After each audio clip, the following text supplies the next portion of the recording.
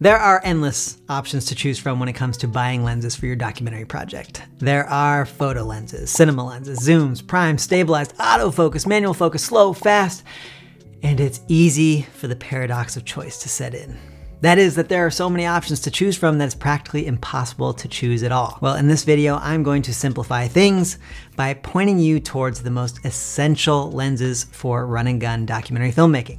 I'll start my recommendations with if you can only have one single lens on a project, what you should choose. Then I'll move on to the ideal two lens package. And finally, I'll share my holy trinity of lenses for a three lens doc package. And let me just say, I think that third lens might surprise you. We'll see. Hey everyone, if you're new here, my name is Austin Meyer. I'm an Oakland-based documentary filmmaker, cinematographer, National Geographic explorer, and today's recommendations are based on the past 10 years working on projects for outlets such as HBO, Hulu, National Geographic, the New York Times, Washington Post, and more. I think it's important to say up front that there really is a power in keeping your kits small and light. The documentary art form is all about intimate access and your ability to adapt on the fly. So whether you only have the budget for one lens or two, or you're just looking to scale down equipment to scale up your adaptability, lean into a minimal lens package as a strength, not a weakness. So let's jump into the one lens package. Essentially, this is the lens I would choose if I was challenged to make an entire documentary with only one single lens. The winner is the 24 to 105 f4 lens. Now this is a standard focal length across lens manufacturers from Sony to Canon to Sigma. I shoot on the Sony FX6, so I personally use the Sony 24 to 105 lens, which retails new for 1300 or used in the $700 range. And I think the value you get from this lens is just fantastic. If you only have one lens in your kit, you need a lens that's gonna be incredibly versatile. And that's what you get with the 24 to 105. At a focal length of 24, you get a really nice wide angle perspective. 24 is this really nice focal range in documentary work because it forces you as the cinematographer to get really close to the action. And when you do that, there's an immediacy and a presence that the audience can feel when watching the footage. 24 is also great for wide establishing shots or landscapes. Then on the other end of the spectrum, ugh, a focal length of 105 gives you a ton of range to zoom in to capture details, and it gives you that nice background compression with a decent bokeh or background image blur. Oftentimes when I shoot with this lens, it feels in the edit like there was two cameras shooting because the 24 and the 105 focal lengths feel so different. Now, of course, any single lens is going to have downsides. And for this lens, the major downside is that it's not very fast. At f4, it's not going to be ideal in low light and you won't get the shallow depth of field that other lenses offer. So if you're going to be filming a lot at night or your project involves a ton of sit down interviews, this might not be the lens to choose. However, for solo shooter, unpredictable, running around, scene-based documentary work, it's great because not only does it have great image quality, but the f4 means this lens is very compact, it's lightweight, and it also has image stabilization. And don't just take my word for it. During this year's 2024 Sundance Film Festival, multiple documentaries were shot almost exclusively on the 24 to 105. Agent of Happiness, which was filmed in Bhutan, was shot on the Canon C300 Mark II with the Canon 24 to 105. In regards to the lens, the director and DP Arun Bhattarai said, it's hard to keep changing lenses in documentary because it can destroy the authenticity of the moments. The 24 to 105 Canon has great range and works very well in most conditions, so it was the go-to lens. Similarly, the film And So It Begins was shot primarily on the Canon 24 to 105. DP Bruce Sakaki said he made that decision because Quote, this setup facilitated a nimble and efficient workflow, enabling us to adapt to evolving situations. Beyond Sundance, series like The Trade or features such as Cartel Land have also leaned on the 24 to 105 because of these qualities. So if you can only have one lens in your documentary project, in my opinion, go with the 24 to 105 f4. But let's say you're getting started and want to invest in two lenses for your kit. What should you go with then? Well, for that, I recommend going with the 24 to 70 2.8 and the 70 to 200 2.8. When I made the jump into full-time freelance documentary filmmaking and video journalism back in 2018, I was looking to invest into two lenses.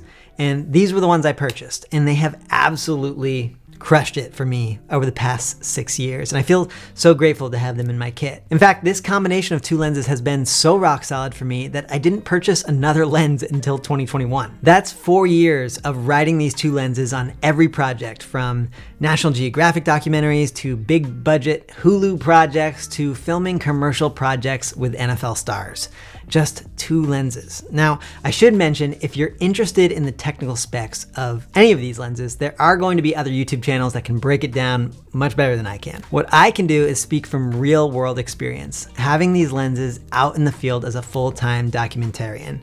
And that real world experience makes me say that this two lens package is just really solid. As far as lenses can go, they're not crazy expensive especially if you get the V1 versions of the lenses. They're light, they can easily fit into a pouch or small backpack and cover a huge range from the 24 wide angle to the 200 telephoto, all at an aperture of 2.8. This means that you're not only getting versatility in the types of images and coverage you can get, but you can also get a shallow depth of field and the ability to shoot in lower light situations.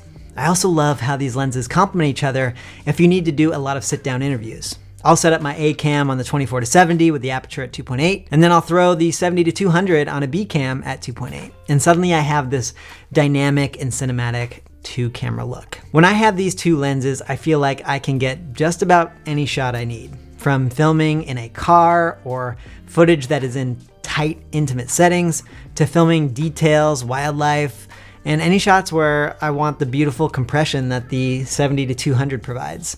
And to minimize the time required to change lenses uh, between the two, I often film wearing a belt system or waist pouch and store the lens I am not using in there. Then anytime I need to make a quick change, I can swap things out in no time. So for your two lens package, go with the sturdy, go with the trusted, go with the lenses you will see on almost every documentary that uses still lenses. That's the 24 to 72.8, which is filming right now.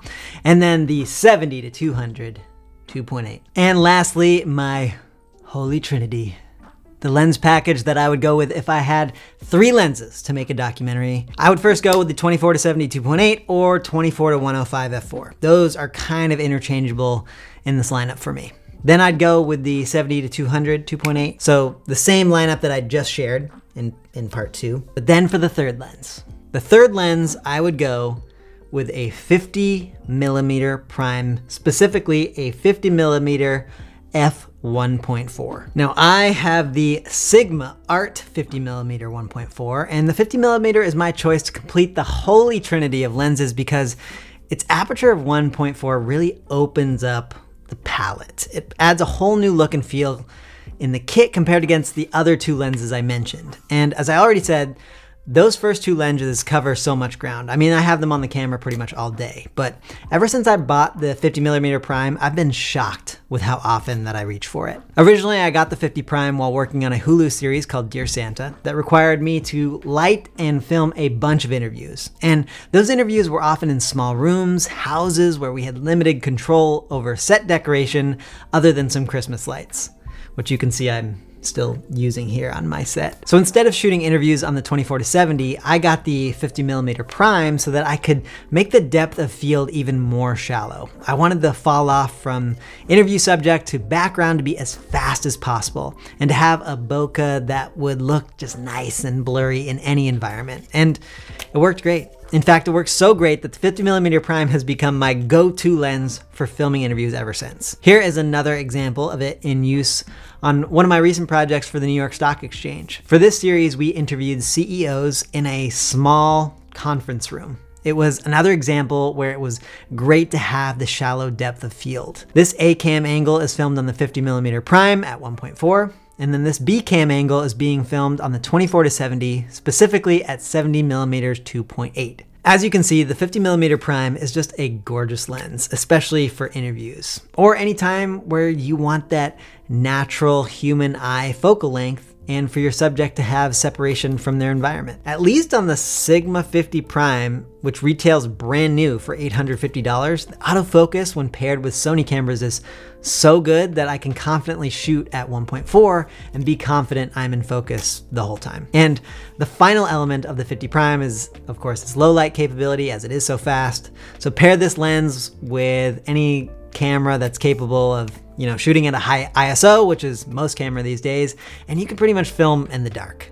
And uh, these these lenses, these cameras, they just make me feel so spoiled for the camera technology that we get to use every day. So that is my list of essential lenses for the documentary cinematographers out there who, like me, are trying to keep their kit lightweight, versatile, and minimal. Which brings me to you. What are your thoughts? Am I crazy for these selections? Or do you want to back me up on these picks? Drop a comment below with your thoughts and I'll be sure to jump in there and respond to every single one. I appreciate you being here, especially during these early stages, early days of my YouTube journey, and I hope these videos are bringing you value. I'll see you next week, and until then, go out and tell some stories.